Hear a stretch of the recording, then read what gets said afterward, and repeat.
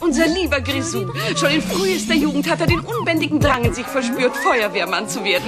Nur dazu fühlte er sich berufen. Ich werde Feuerwehrmann. Ich werde Feuerwehrmann. Interessant, ist er Feuerwehrmann geworden? Nein, Das ist doch geradezu unglaublich.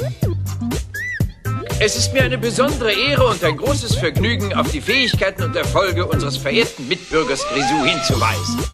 Ja, hallo Leute, herzlich willkommen zu einem wirklich unspektakulären Video diesmal. Ähm, eigentlich auch ein Video, was überhaupt nicht in meinen Kanal passt.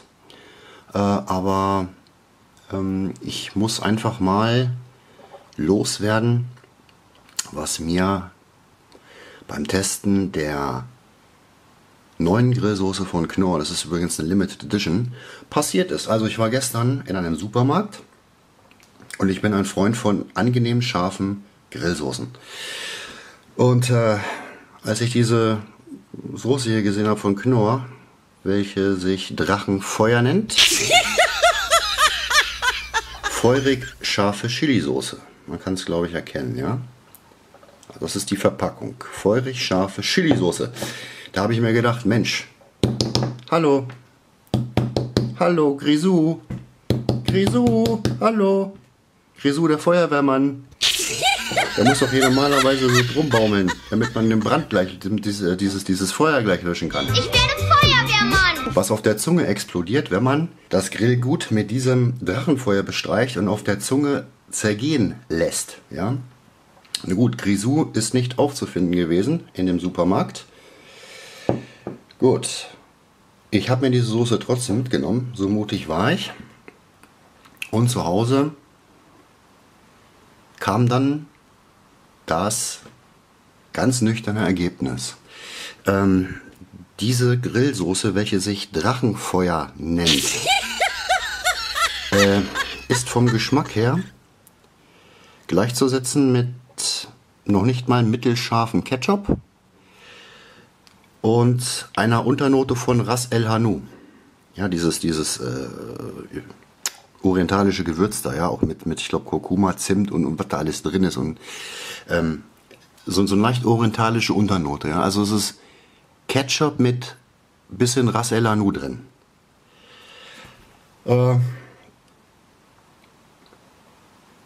ja, da war mir dann noch klar, Grisou, der Feuerwehrmann, der braucht da gar nicht drum rum zu hängen, um dieser Flasche, damit man dem äh, Verkoster da, da eventuell das Feuer von der Zunge löschen kann. Grisou war bereits in der Flasche drin, hat das Feuer gelöscht. Anders kann ich es mir nämlich nicht vorstellen, denn diese Soße ist nicht annähernd feurig scharf. Liebe Leute von Knorr, wenn ihr diese Soße exemplarisch für wenn, wenn diese Soße also exemplarisch für Drachen sein soll, dann muss man sich wohl nicht wundern, warum die ausgestorben sind. Ähm, und ähm, ist irgendwie, ich brauche auch keine, wie gesagt, eine Verpackung, wo äh, feurig scharf drauf steht und innen drin ist da irgendwie nur Ketchup mit ein bisschen orientalischen Gewürz drin. Das ist also ein Schuss in den Ofen. Ähm, das muss nicht sein.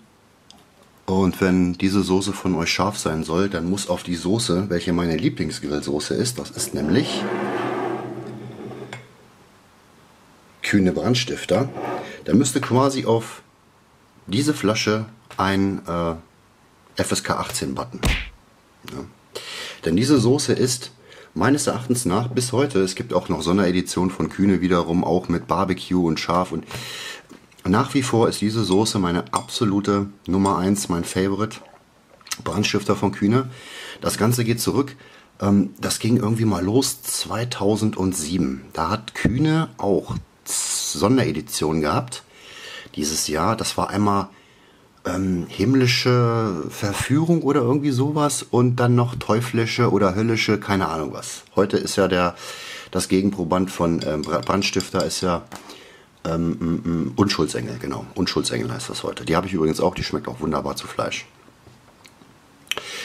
Ähm, da habe ich dann, nachdem ich mir diesen angeblich so scharfen Probanden gekauft hatte, 2007 von Kühne, ich glaube teuflisch oder höllisch, irgendwas war das, war auf jeden Fall mit dem Teufel drauf, Habe ich dann zu Hause auch genauso eine Enttäuschung erlebt wie hier mit diesem Drachenfeuer von Knorr. Das war nämlich überhaupt gar nichts. Ja, das war noch nicht mal eigentlich, das war nicht schärfer als normale Chili-Soße, die man kauft, so eine 0815 Chili-Soße. Ähm, da habe ich der lieben Firma Kühne einen wirklich ergreifenden Brief geschrieben, wirklich geschrieben, in einem Briefumschlag, Briefmarke drauf und hingeschickt. Das Ergebnis von Kühne kam ein Jahr später mit Brandstifter. Ja. Sonderedition, nur für kurze Zeit. Da habe ich dann nochmal einen Brief geschrieben und habe gesagt, liebe Leute von Kühne, ihr habt die beste Grillsoße gebaut, die man sich überhaupt auf Erden kaufen kann.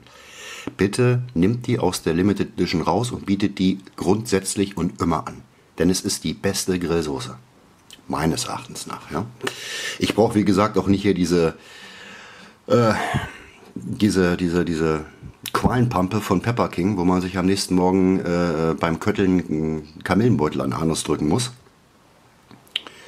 Ich mag es wirklich angenehm scharf und das ist wirklich angenehm scharf und auch diese, diese ganze Würzerei drumherum, die, das ist, diese ganze Soße, die ist so abgerundet, die ist so perfekt. Ich will jetzt hier nicht Kühne äh, in den Himmel loben, aber das ist definitiv meine Nummer eins. Und ähm, Drachenfeuer, liebe Leute von Knorr, wenn ihr die nächsten Flaschen abfüllt, dann würde ich darauf achten, dass er da ähm, mal wirklich aufpasst, dass der kleine Grisou Feuerwehrmann nicht immer in die Flaschen rein krabbelt vorm Verschließen und das Feuer da drin löscht. Dann wird das vielleicht auch mal was. Also diese Soße könnt ihr, glaube ich, ganz getrost vom Markt nehmen. Also, ja. das ist nichts. Leider, Knorr, das Video musste sein, denn ich hatte keine Lust, einen Brief zu euch zu schreiben, an euch zu schreiben. Und deswegen mache ich das hier einfach mal über ein Video. Also, Knorr Feuerdrachen VS Kühne Brandstifter. Da, da, da, da. And the winner is. So, ja, das war es eigentlich im Wesentlichen. Und ich habe noch Lust, ein bisschen was über Burger zu erzählen. Also, was ich für Soßen benutze, wenn ich mir einen Burger zusammenbaue. Ja, Burger. Da gibt es für mich privat so zwei verschiedene ähm, Geschmacksrichtungen. Und zwar einmal ist das der typische rauchig schmeckende ähm, Barbecue-Burger, so wie der Double Steakhouse bei Burger King. Oder aber dieser schöne Double Chili Cheese, den mag ich auch sehr, mit diesen eingelegten Jalapenos drauf. Und das sind meine beiden Lieblingsburger mit. Und ähm, die mache ich mir zu Hause gerne selber. Ich kaufe mir 0815 äh, Burgerbrötchen, weil die fallen nicht auseinander, also nicht diese XXL. XXL-Brötchen habe ich Erfahrung gemacht, dass die einzigen, die nicht auseinanderfallen, die von der Firma Golden Toast sind. Also von Harry, von der Firma Harry, grottenmäßig schlecht, fallen auseinander, wie die billigsten von äh, aus dem Supermarkt. Also ähm, da kann man, glaube ich, nur die von, ja, das waren nur die von Golden Toast. Kann sein, dass es natürlich noch andere Hersteller gibt, die ich jetzt so nicht kenne, das will ich ja gar nicht sagen, aber ich nehme die kleinen, die reichen vollkommen aus. Etwas weniger Weißbrot, ne, dafür ein bisschen mehr Beef. Und ähm, da fange ich an mit dieser Japello Jalapeno äh, Käse Variante, also wie dem Long Chili Cheese von äh, Burger King. Da habe ich einmal diese Soße, diese Schießsoße mit Jalapeno. Squeeze Cheese, die habe ich von äh, Real hier vor Ort. Die ist sehr, sehr klasse. Die nehme ich auf dem Brötchen auf der Unterseite. Ja, die nehme ich auf der Unterseite. Moment, ich glaube gleich klingelt Ich muss mal kurz ausmachen. So, bin ich zurück. Ja, die, ähm, die nehme ich auf der Brötchenunterseite. Und äh, auf der Brötchenoberseite nehme ich von Devil Eye die Burgersoße. Die ist, äh, glaube ich, die originale. Das ist die originale Soße von Big Mac. Vom Big Mac, dem Restaurant, das welches ich nicht besuche, weil die nur Rinderabfälle äh, verarbeiten, die mit Chemikalien gewaschen sind. Ähm, ja, und auf der Unterseite kommen dann zuallererst dann noch ein bisschen eingelegte grüne Jalapenos drauf. Ja, ein bisschen frischer Eisbergsalat. Ein bisschen frische Zwiebeln. Dann kommt dann auch schon die Bulette drauf. Darüber halt eine Scheibe Schieß, ja, Chester-Scheibe. Und äh, da kommt dann auf die Brötchenoberseite nochmal ein bisschen Röstzwiebeln, ein bisschen Tomate. Und dann wird das zusammengeklappt. Manchmal nehme ich natürlich auch noch schöne gegrillte Scheibe ähm, Bacon mit rein. Ja, das ist auch eine sehr tolle Sache. Hat einen super, super geilen äh, Unterton dieser Burger da mit dieser, mit dieser, ähm, mit diesem äh, Bacon-Schinken drin.